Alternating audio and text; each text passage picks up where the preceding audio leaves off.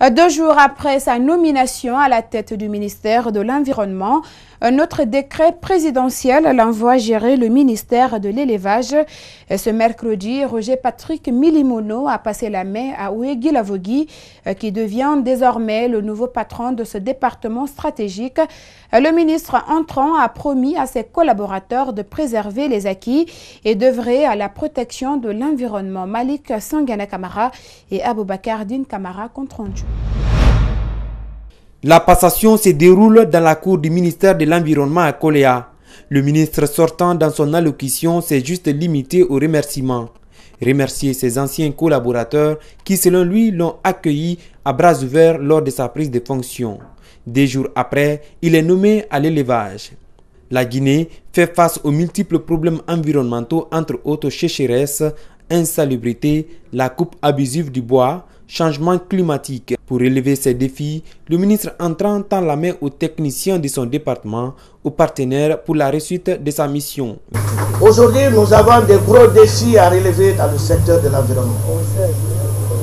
La salubrité, c'est un gros problème pour notre pays aujourd'hui. Et nous occupons la dernière place, il ne faut pas avoir le complexe de le dire, parmi les pays au-dessus du Sahara les plus sales. C'est un gros défi. Aussi, nos cours d'eau sont secs, complètement secs. Les cours d'eau sont talis. On ne respecte plus la forêt. Le déboisement partout et partout. C'est un gros défi. Je vous tends également donc à mes deux mains en m'adressant au cadre technique de l'environnement à m'aider afin de relever ce défi avant la fin de la deuxième mandature du professeur Alpha Condé. Pour sa part, la section syndicale a souhaité une bonne prise de fonction au ministre entrant avant de faire quelques recommandations dans le but d'améliorer le travail. Il s'agit de la formation continue du personnel, la dotation du département en bus de transport.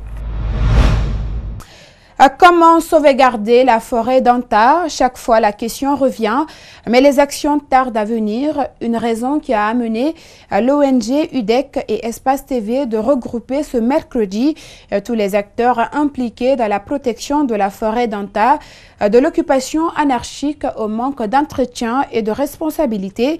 Toutes les questions ont été soulevées pour sauver cette forêt qui était autrefois une fierté nationale. Reportage Mamadou Saluba et Mamadou Sadio Baldé.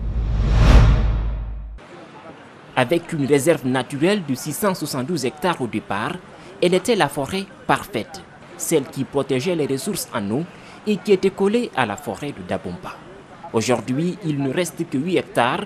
La forêt d'Anta a perdu son authenticité. Il est urgent de penser à sa restauration.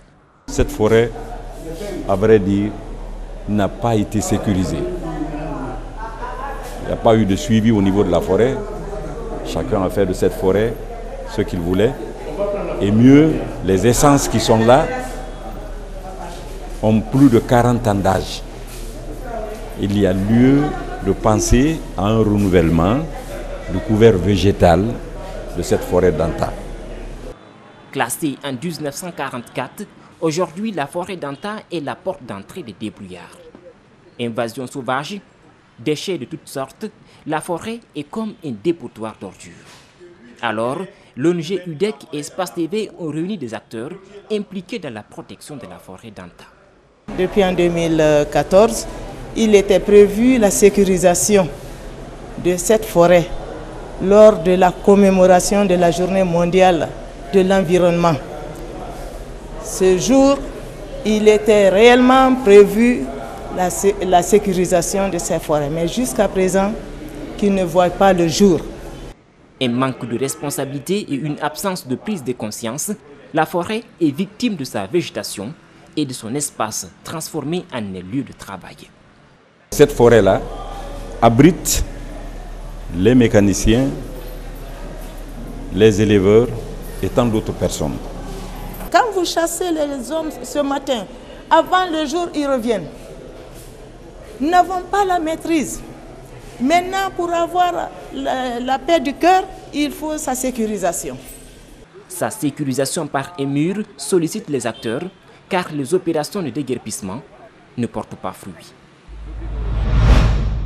Religion à présent, les fidèles musulmans ont commencé les prières nocturnes à la nuit du mardi à mercredi et ce moment d'intense prière euh, consiste à rechercher une seule nuit bénie appelée nuit du destin. À Bonfi, l'affluence est importante dans les mosquées. Le reporter Abdourahman Ba et Mamadou Babangoura ont fait un tour et suivi.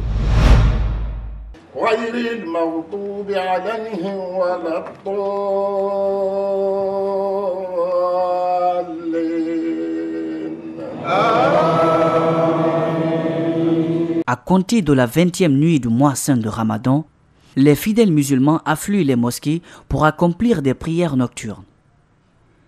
La particularité de cette adoration vise à trouver la nuit du destin, qui équivaut à mille mois de soumission à Dieu. Nous le faisons, c'est parce que nous cherchons une nuit bénie, une nuit très valeureuse, une nuit aussi importante pour les musulmans, la nuit qui s'appelle Laylatul Qadr. Cette pratique remonte au temps du prophète Mohammed Ali sur lui. Depuis, elle est pérennisée par les différentes communautés musulmanes à travers le monde. Dieu l'a parlé dans le Coran. Il a parlé de l'importance de cette nuit. Il a parlé aussi non seulement son importance, mais ce que les musulmans vont avoir dans cette nuit comme bénédiction, comme réponse à leur appel par le bon Dieu, mais aussi la nuit qui efface leurs péchés. Ce fidèle travaille dans l'administration. Malgré ce problème auquel il fait face, son engagement est inébranlable. C'est un appel pressant pour ceux qui, de près ou de loin, ne veulent pas participer à la recherche de cette nuit. Donc je les invite à faire comme nous, nous les fidèles musulmans, parce que nous nous sommes habitués à, le faire chaque année, depuis près d'une décennie maintenant. Cette pratique va continuer jusqu'à la veille de la fête de l'Aïd el-Fitr, qui marquera la fin du genre des musulmans.